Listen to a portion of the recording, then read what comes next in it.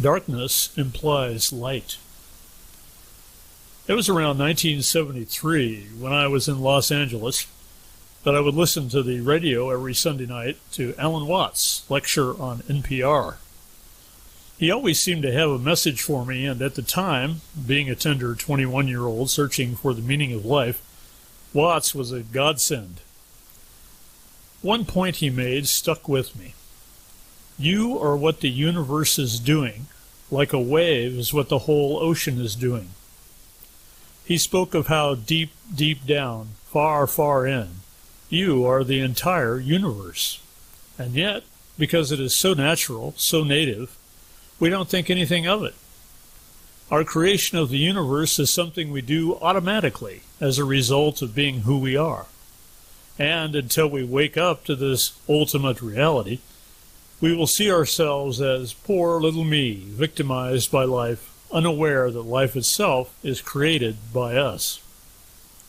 These were heady concepts for me as a young man, causing me endless hours of consideration and wonder and that continues to this day. Watts also frequently delved into non duality, observing how death implies life and how darkness implies light. Colloquially, we separate these concepts when in fact one could not exist without the other. The ultimate reality is that it is impossible not to be. Existence is all that there is, and non existence, by definition, doesn't exist.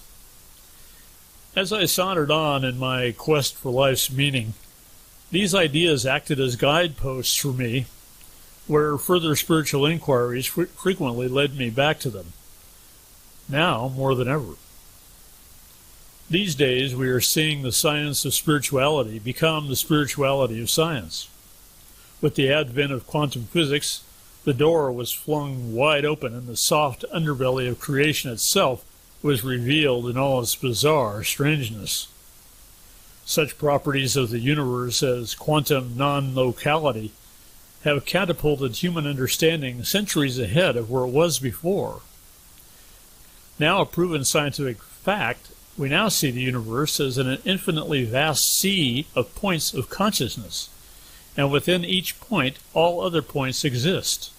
A holographic matrix of infinite connectivity, where it is now possible to travel instantaneously to any other point in the universe, a native property of consciousness. As the process of disclosure is extensively revealing, based on the testimony of quantum physicists working on formerly super secret technologies, we're finding out that not only is the universe chock full of intelligent life, but that travel amongst the stars is commonplace via the holographic matrix of consciousness. There are technologies at present that have demonstrated this capability, allowing humanity to reach out to the vast numbers of advanced civilizations existing throughout creation.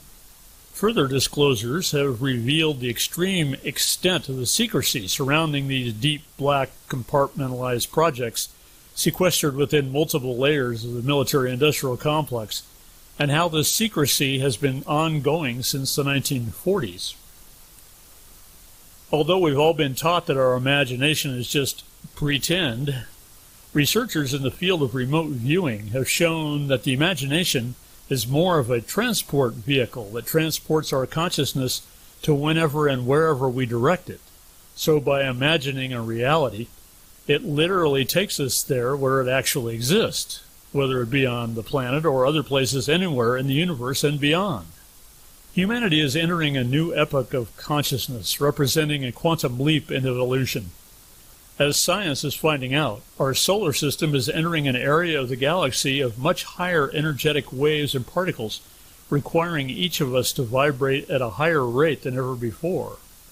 These raised frequencies are how we are emerging from a millennia of darkness into the implied promise of galactic and universal light.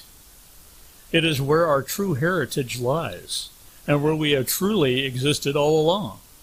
It was just our belief in the darkness and the limitations of an enslaved world that had us fooled. Now we can see that the extreme depth of darkness only meant there was extreme light on the other side, and that the dark deceptions, despicable secrets, and occulted manipulations were only given dispensation because of a greater field of light. The darkness was merely a temporary eclipse of the ultimate and infinite light of creation.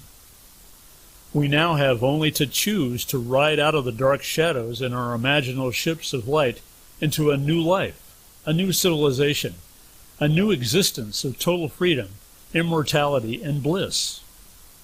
Will you choose that with me?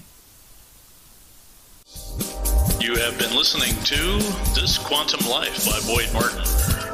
Brought to you by the Quantum Health Newsletter from Pure Energy RX. www.pureenergyrx.com.